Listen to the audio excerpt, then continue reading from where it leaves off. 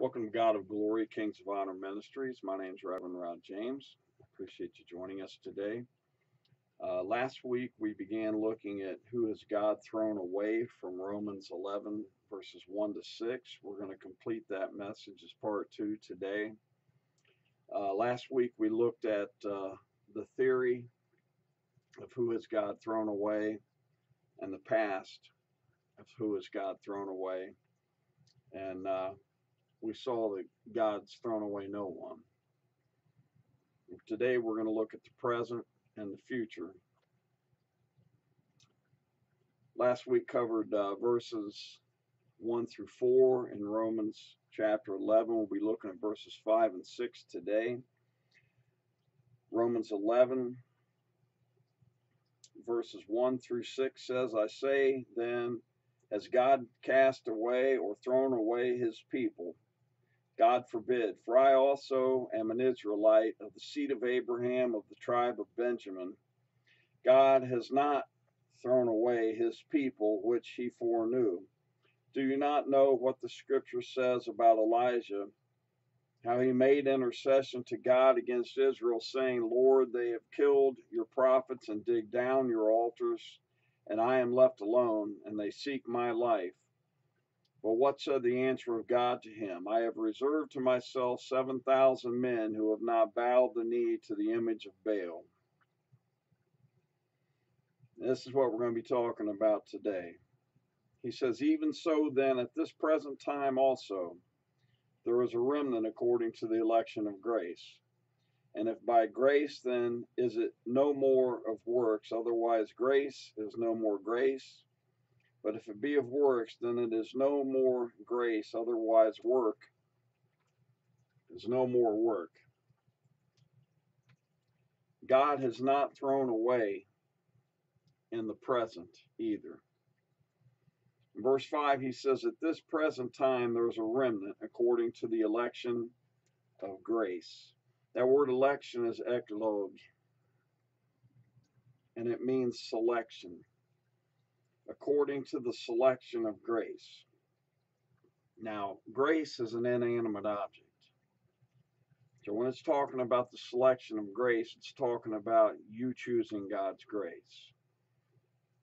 You are the selector of God's grace. God extends his grace out to you.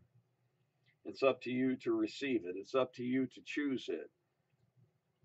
You can choose to be a murderer you can choose to be a thief. You can choose to be a sex offender. You can choose to be an addict. You can choose to be a blasphemer. You can choose to be an atheist. And you can also choose the covenant of God's grace. It's up to you. Who has God thrown away? And the answer is in the present, as it was in theory and in the past, God has thrown away no one. We throw ourselves away if we don't receive his grace. In Romans chapter 3, verses 21 to 23, it says, But now the righteousness of God without the law is manifested, being witnessed by the law and the prophets. Even the righteousness of God, which is by faith of Jesus Christ, unto all and upon all them that believe, for there is no difference, for all have sinned and fallen short of the glory of God. He says, But now righteousness, but now faith, but now grace is extended unto all. It's up to us to receive it. In Galatians chapter 3, verse 22, it says much the same thing. It says, But the scripture has concluded all under sin. All have sinned like Romans 3:23 says. All have sinned and fallen short of the glory of God. The scriptures concluded all under sin that the promise by faith of Jesus Christ might be given to them that believe. That's the dividing line. We're all guilty. He, he's declared us all guilty before God. All have sinned and fallen short of the glory of God. Who does God throw away out of that group? Nobody we throw ourselves away if we don't receive his salvation. Romans 11:32, my favorite scripture in the whole in the entire Bible, again says the same thing. It says, "For God has concluded them all in unbelief, that He might have mercy upon all." God doesn't have a set of people over here and another set of people over here. He said, "You know what? You're all in unbelief. I extend mercy to you all. I extend salvation to you all. I extend faith unto you all, but you have to receive it. Now, Romans chapter 3, verses 9 to 19. Who is God thrown away? Who has God thrown away? And the answer is no one. Paul says, What then? Are we better than they? No, in no wise, for we have before proved both Jews and Gentiles that they are all under sin. Everybody's guilty again. Everybody's lost.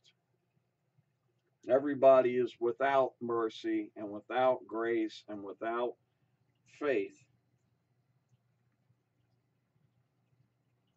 But it's extended to everyone.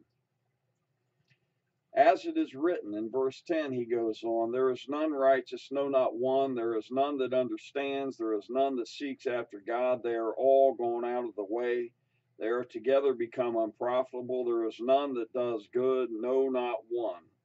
Their throat is an open sepulchre. With their tongues have they used deceit. The poison of asp is under their lips, whose mouth is full of cursing and bitterness. Their feet are swift to shed blood. Destruction and misery are in their ways, and the way of peace have they not known. There is no fear of God before their eyes. That is a daunting list of things that we are all guilty of.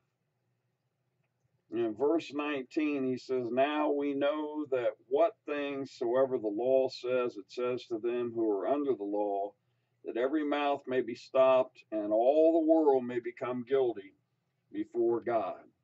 We're all guilty. Romans 3:23, Galatians 3:22, Romans 11:32, and Romans 3:19 all say we're all guilty. Who has God thrown away? No one. Not not in theory with Paul, not in the past as we saw last week, and no one now. Ephesians chapter 1, verses 3 through 7. Ephesians 1, 3 through 7. It said, Blessed be the God and Father of our Lord Jesus Christ, who has blessed us with all spiritual blessings in heavenly places in Christ according as he hath chosen us in him before the foundation of the world, that we should be holy and without blame before him in love, having predestinated us unto the adoption of children by Jesus Christ to himself, according to the good pleasure of his will, to the praise of the glory of his grace, wherein he has made us accepted in the beloved in whom we have redemption through his blood, the forgiveness of sins according to the riches of his grace. He's chosen you. He's chosen everyone.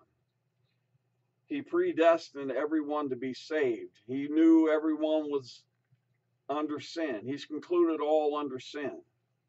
So he provided salvation for everyone. God hasn't thrown away anyone. It doesn't matter what you've done. You have to reach out and receive Him as your Savior. He has chosen you. No matter who you are, He's chosen you to be saved. He predestined every person on this planet to be saved. That's His plan. Now, you may interrupt His plan and not receive Him. You may not choose His grace. You may not select His grace. Eh, you, you may not elect His grace. You may not eclogue His grace. But He's offered it to you. 1 Timothy chapter 2 verses 1 through 6.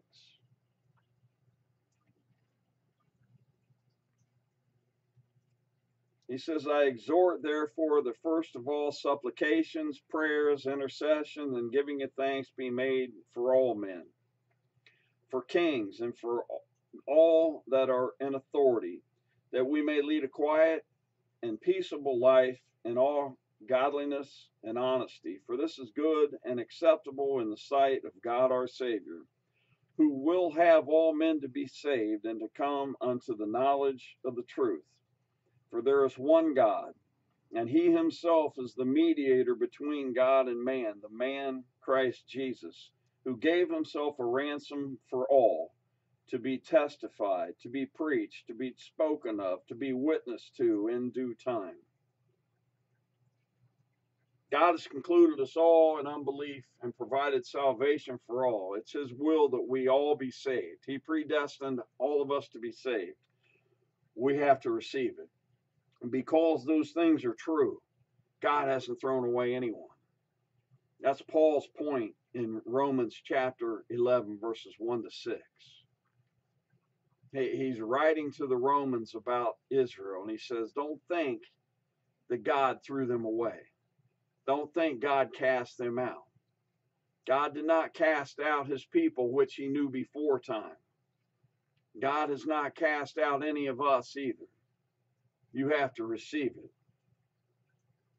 Again, Romans 11:32, God has concluded them all in unbelief, that he might have mercy upon all. Paul in, in that portion of scripture is talking about the Jews and the Gentiles. That's the only two groups of people there are.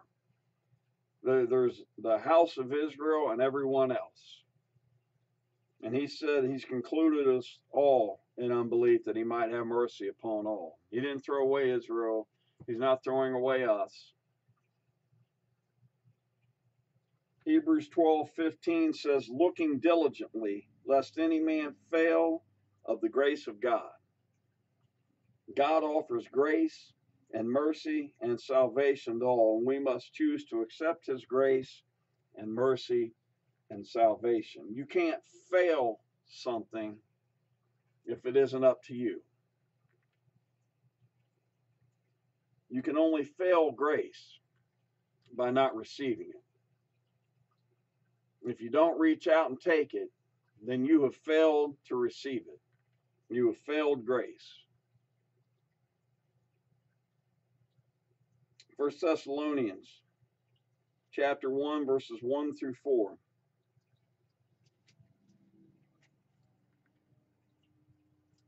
First Thessalonians 1 1 through 4.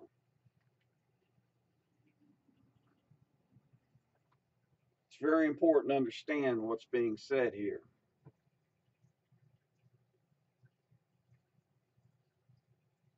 Paul is writing to the church of Thessalonica.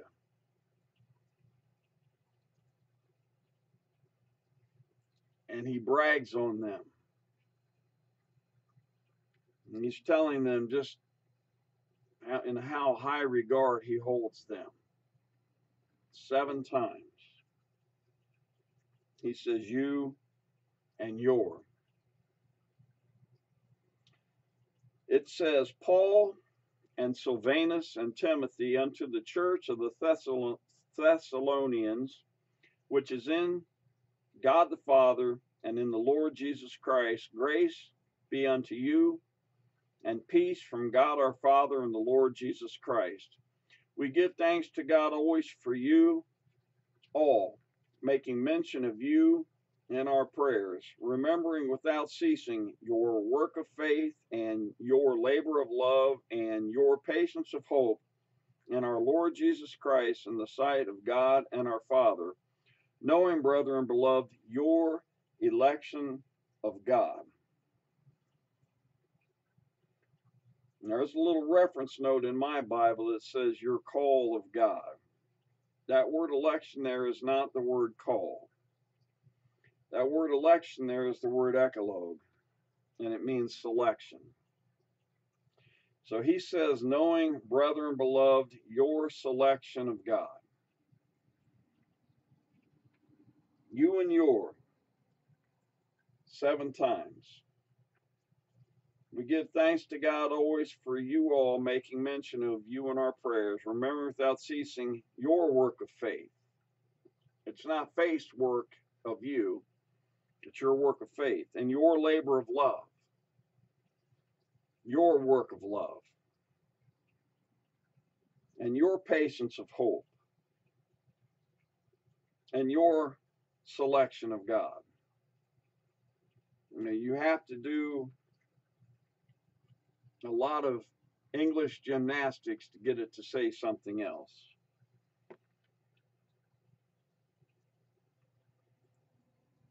We have to choose His grace. Who has God thrown away? The answer is no one in the present.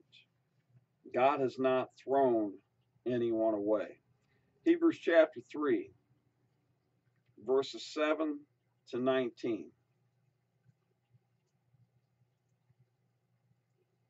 It's a very powerful portion of scripture that I want to look at for a few minutes.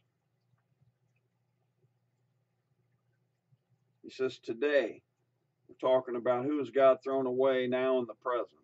We looked at the theory last week and the past last week. Now we're looking at the present and the future. In the present, who has God thrown away? And the answer is no one. Hebrews chapter 3, verses 7 to 19, he says, Wherefore, as the Holy Ghost says, Today, if you'll hear his voice, harden not your hearts as in the provocation. Don't harden your heart. You don't harden your heart. You receive his grace. In the day of temptation in the wilderness, when your fathers tempted me, proved me, and saw my works forty years, wherefore I was grieved with that generation and said, They do always err in their heart, and they have not known my ways. So I swore in my wrath, They shall not enter into my rest. Take heed, brethren, lest there be in any of you an evil heart of unbelief and departing from the living God. But exhort one another daily while it is called today, lest any of you be hardened through the deceitfulness of sin. For we are made partakers of Christ if we hold the beginning of our confidence steadfast unto the end. While it is said, Today, if you will hear his voice, harden not your hearts as in the provocation. For some, when they had heard, did provoke, howbeit not all that came out of Egypt by Moses. But with whom was he grieved forty years? Was it not with them that had sinned, whose carcass fell in the wilderness? And to whom sware he that they should not enter into his rest, but to them that believe not. So we see that they could not enter in because of their unbelief. Few things here. He says, Today, don't harden your hearts. Today, if you hear his voice, don't harden your hearts. And he even repeats himself twice. He quotes that portion of scripture twice. Don't harden your hearts.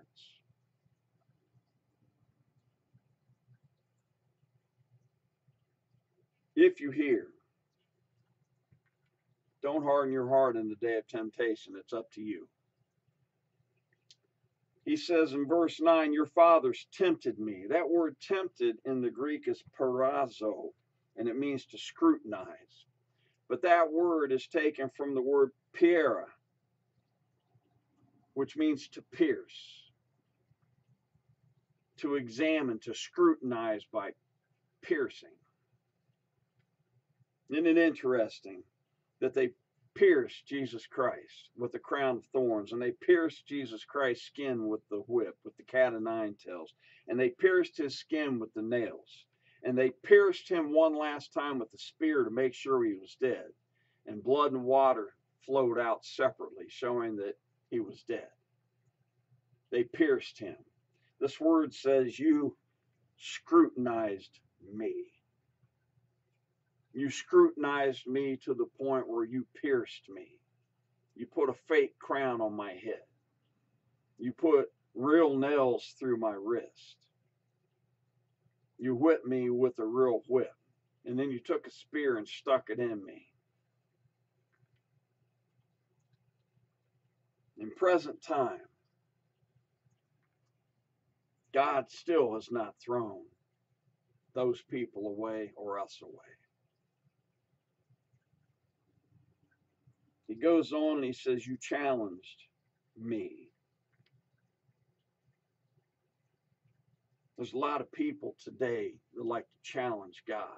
They like to stand up in God's face and say he doesn't exist. They, like to stand up in his face and, and, and talk about the grotesque things they do and, and mock people who live godly lives and mock people who believe in the Word of God.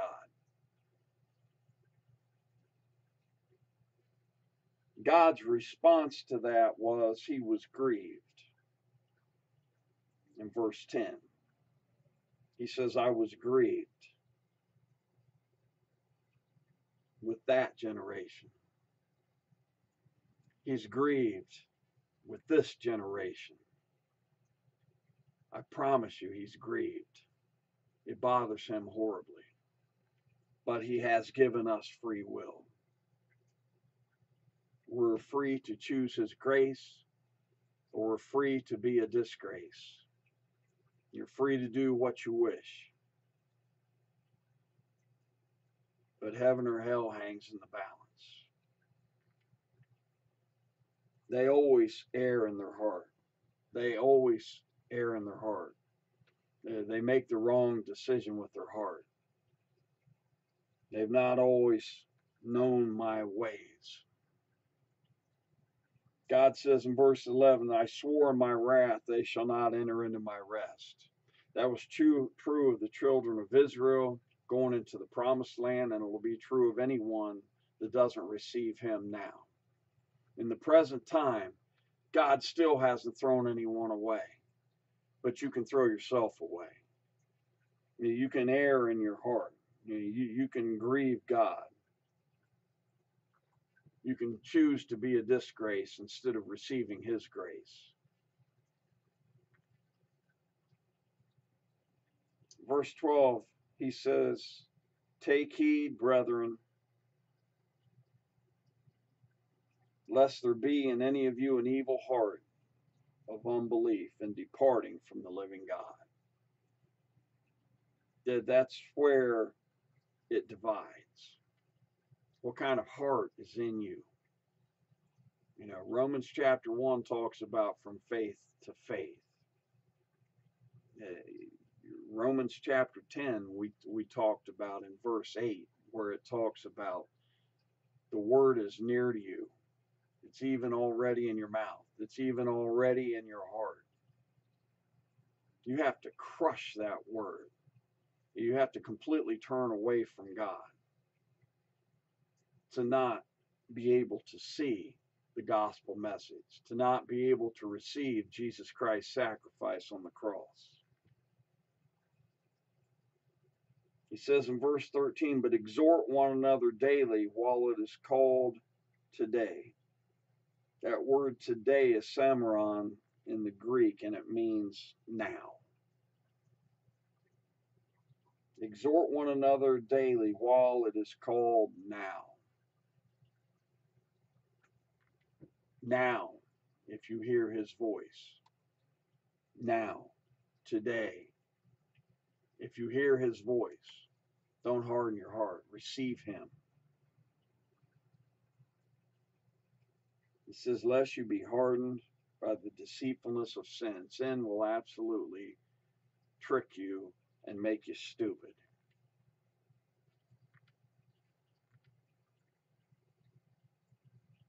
You may think that sin is just something you do, but sin is a disease that you have. Sin is a means by which Satan will destroy you if you let him. Verse 14, he says, We are made partakers of Christ if, if we hold the beginning of our confidence steadfast to the end. There's a couple of really important words there. That word partaker in the Greek is metochos and it means participants. We are made participants of Christ. It's an act of faith. It's a faith that does things. It's a faith that studies the Word of God. It's a faith that prays. It's a faith that witnesses. It's a faith that you pray for the sick and they get healed. It's a faith that is active. It's not something to be shined up and set on a shelf and never used. It is a verb. We are participants in Christ. We're, we're, we're not part of the audience. We're active participants if we're doing this right. He says, if we hold the beginning of our confidence. That word confidence is hypostasis. It means setting under of assurance. It's like having girders under your faith. It's like having girders under your life that hold you up, that, that fasten you in place, that keep you safe, that keep you strong. No matter what comes along, those girders aren't going to let you go anyplace. They're going to fight against the flood and the wind, whatever may come your way. He said, We're active participants and we have girders of assurance under us. If we hold steadfast unto the end, you can't let go. You, can't let go.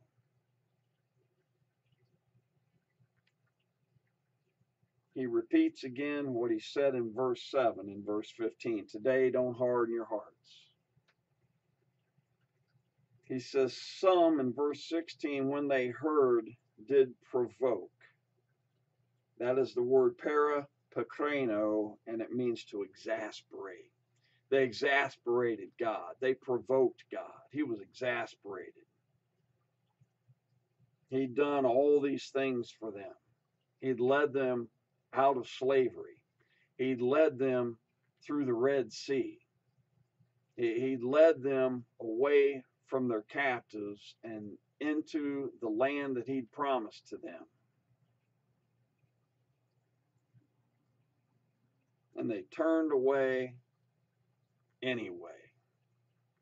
And God was exasperated with them. It says in verse 17, With whom was he grieved? Was it not with them that sinned. That was on them.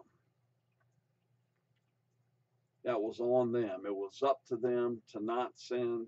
It was up to them to not fall into unbelief. It was up to them to receive God's grace and God's mercy and to walk in faith and to be participants of that faith.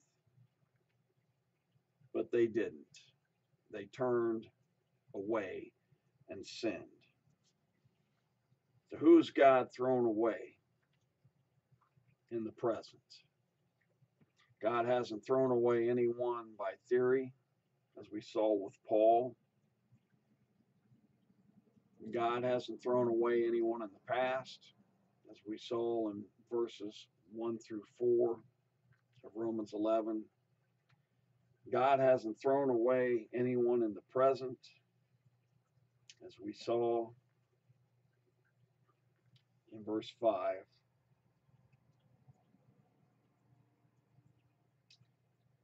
God hasn't cast away anyone in the future.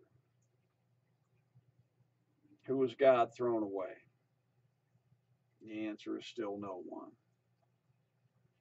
In verse 6, of Romans chapter 11. Romans 11 verse 6. He says, And if by grace, then is it no more of works. Otherwise, grace is no more grace. And if it's by grace, then it's yours for the asking. If it's a gift, it's provided to everyone, as we saw in, in Romans 3 21 through 23. as we saw in Romans 3 19 or 9 through 19 as we saw in Galatians 3:22 as we saw in Romans 11:32 if it be by grace and it is. Then it's yours for the asking. If by grace then it's no more of works. It's a gift. Isaiah chapter 14 and verse 1 says, For the Lord will have mercy on Jacob, that's Israel, and will yet choose Israel and set them in their own land. And the strangers, that's the Gentiles, shall be joined with them, and they shall unite to the house of Israel, to the house of Jacob. He says, and he will yet choose Israel. That's future. Israel's come back into their own land. That prophecy was fulfilled in 1948. He said that in the future, Israel and the Gentiles will be joined together in one faith. All that come to faith in Jesus Christ are joined together. We're all Christians now. We're not Jews. We're not Gentiles. We're Christians. We're born again Christians. He had mercy on Israel. He died for their sins. He chose Israel before the foundation of the world. He chose the Gentiles before the foundation of the world. He set Israel in their own land. The strangers will be joined with them spiritually. They shall unite with the house of Israel, and all that are saved are united in Christ. We're all active participants if we're doing this right in Christ. We've gone from death to life, and life is an activity, it's not just an existence. In Acts chapter 4, verse 33. Acts 4:33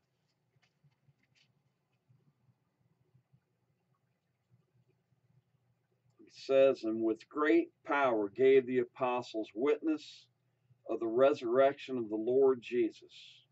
With great power, with great authority, with signs and miracles and wonders, and with the Word of God. And that verse concludes, and great grace was upon them all because they received it. It was upon them all great grace. Now, there's three portions of scripture I want to read quickly to show you something I think is very important. Exodus 32, verses 31 to 33. Exodus 32, 31 to 33 says, And Moses returned unto the Lord and said, Oh, this people have sinned a great sin and have made them gods of gold.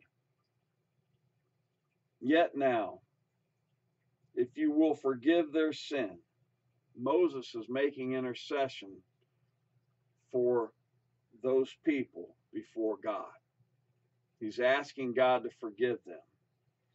He says, If you will forgive their sin, and if not, blot me, I pray you, out of your book which you have written. And the Lord said unto Moses, Whosoever has sinned against me, him will I blot out of my book. Very important. Moses was in the book of life. Moses said, if you won't do this, if you won't save them, take me out of the book too. Telling me that they were all in the book, and Moses is vouching for them, saying, if, if you take them out, if you cast them all away, if you throw them all away, throw me away too. And God said, it's incumbent upon whoever did it to be thrown out. This was not set up ahead of time by God. God said, if they sin against me, them I'll blot out. In other words, they're in the book. But if they turn away from me, they'll be blotted out. Revelation chapter 3 and verse 5. Revelation 3 5 says, He that overcomes, the same shall be clothed in white raiment, and I will not blot out his name out of the book of life. But I will confess his name before my Father and before his angels. Jesus said in talking to the church at Sardis, He said, Him that overcomes, you're going to be clothed in white. You're going to be seen as pure and holy in God's sight. And I won't blot out your name out of the book. The name's in the book. For the name to be blotted out of the book, they have to turn away. They have to not receive his grace. They have to not receive his mercy because he offered it to them. One more scripture, Revelation 22 19 says, And if any man take away from the words of the book of this prophecy, God shall take away his part out of the book of life, and out of the holy city, and from the things which are written in this book. You can be blotted out. You can be blotted out, and it can be taken away. That which is offered to you, that mercy, and forgiveness and grace that is offered to everyone can be withdrawn if you don't receive Him. That is how people end up in hell. They don't receive heaven. God literally doesn't send anyone to hell. You send yourself. He, he extends the offer of eternal life to each person but each person has to receive it. They have to receive and overcome. You know, Jesus, when he was speaking to the seven churches, had a message for every one of them.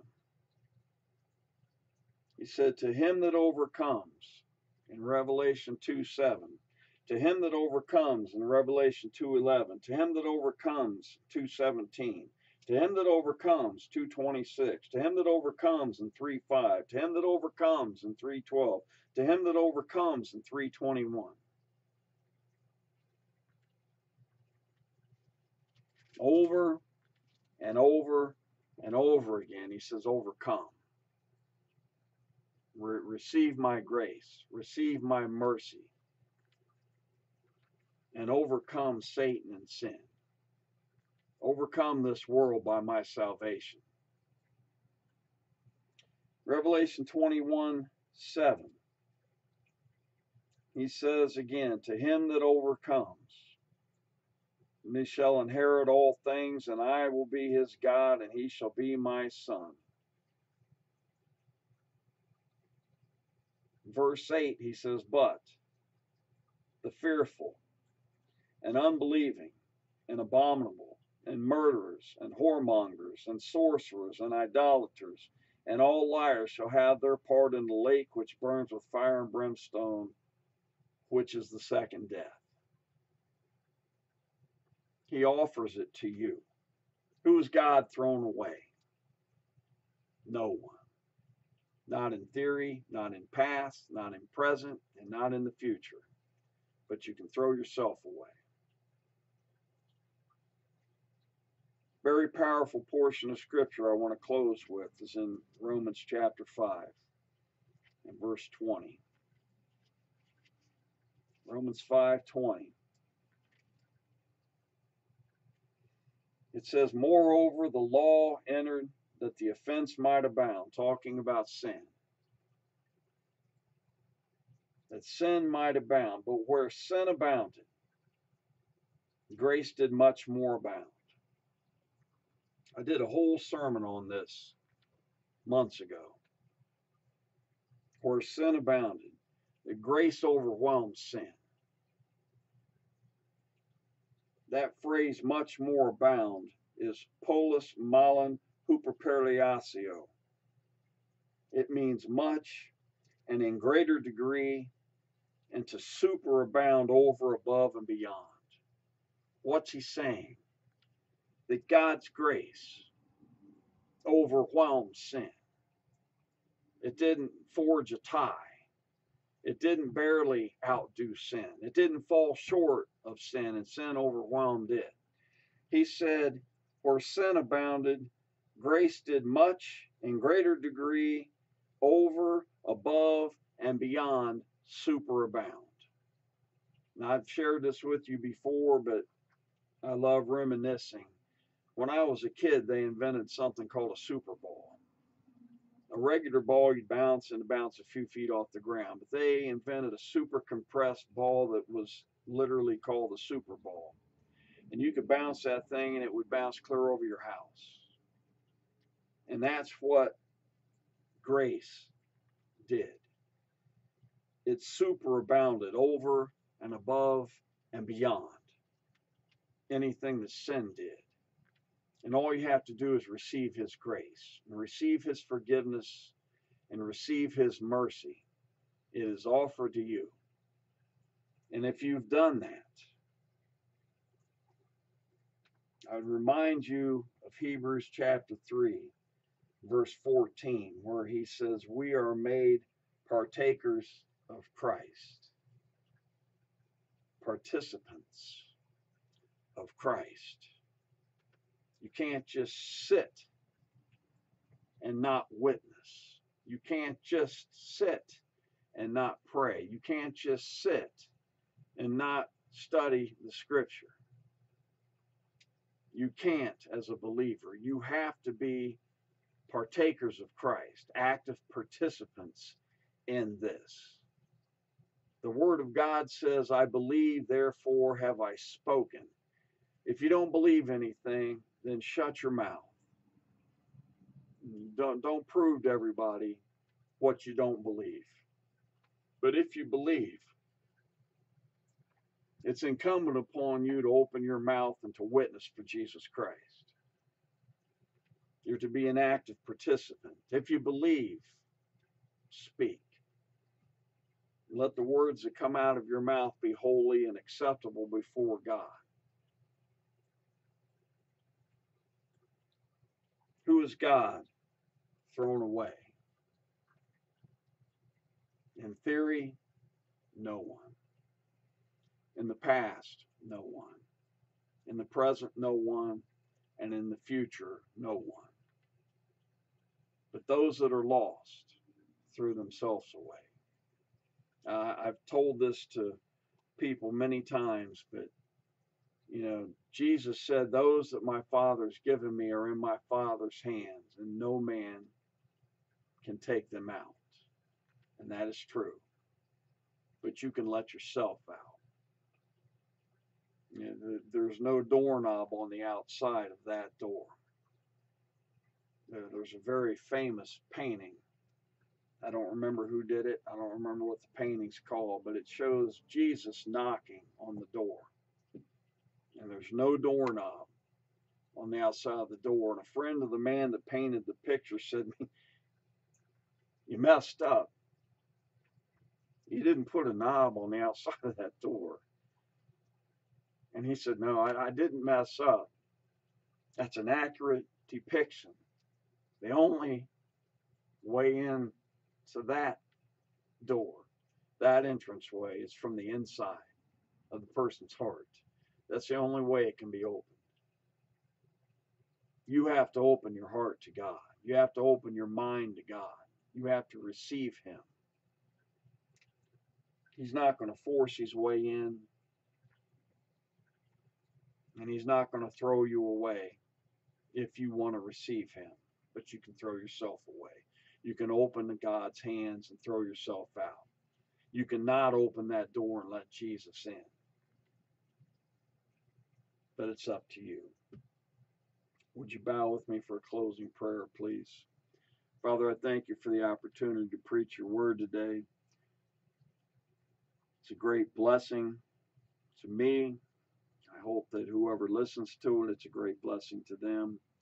The word of God is is alive and powerful and, and sharper than any two-edged sword, as the word says.